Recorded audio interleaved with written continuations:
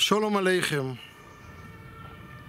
Beim Gebet von Shabbat gibt es eine besondere Gebet, Kel Adon al kol Maasim. Hashem ist der Herr auf alle Sachen in dieser Welt. Und es gibt dort eine Stelle, die jahrelang mir fasziniert.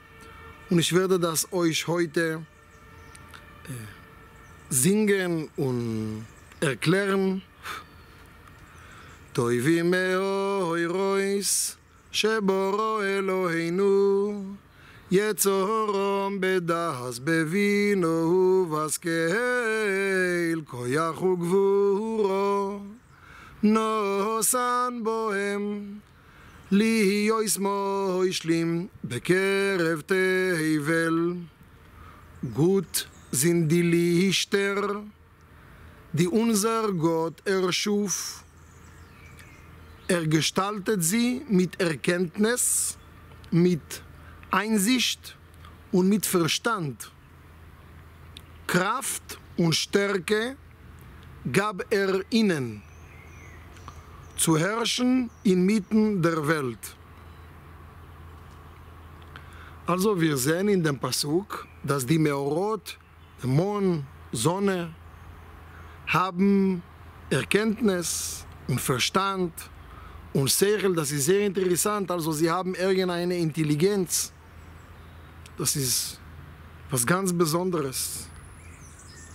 מלאים זיו ומפיקים נויגה נוי זיבום בכל אוילום שמחים בצייסום וסוסים בבוא יום Oisim beim Orezoin koinom, voll Glanz und helle strahlend.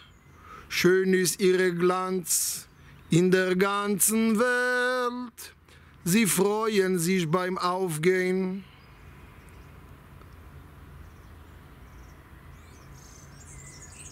Frohlocken beim Untergehen erfüllen mit Ehrfurcht dem Willen ihres Schöpfers. Unglaublich, wie schön. Die Sonne jeden Tag macht ihre Aufgabe richtig. Soldat, nicht umsonst heißt sie Shemesh. Shemesh bedeutet so wie Shamesh, Diener, Diener von Hashem. Wie, wie sagt man ein kleiner Shemesh, eine kleine Sonne? Shimshon, Sohn, Sohnele. Jeden einer von uns ist ein kleiner Shimshon, ein kleiner Shamesh, ein kleiner Diener von Hashem, von seiner Familie, von seiner Gemeinde. Wir sollen lernen, von der Sonne ihre Aufgabe richtig zu machen, so wie Hashem hat sie gestellt. Shkoyach.